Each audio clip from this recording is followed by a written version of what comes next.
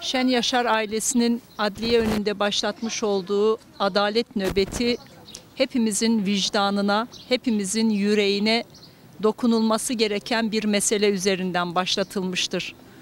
Tam 399 gündür bu aile burada bir adalet çığlığını ve bir adalet çağrısını ifade ediyor ve Türkiye kamuoyuna, Türkiye'yi yönetenlere bu adaletsizliğe bir an önce son verilmesi çağrısını yapıyor. Ancak vicdanların bu kadar kör olduğu, yüreklerin bu kadar kör olduğu, hiçbir şeyin bu annenin yüreğinde hissettiği acıyı açığa vuracak derecede gözlerin kör olduğu bir coğrafyada bu annenin çığlığını duymamak, bu ailenin çığlığına ses vermemek çok büyük bir vicdansızlıktır. Çok büyük bir hukuksuzluktur aynı zamanda. Biz Şen Yaşar ailesinin yanındayız elbette ki.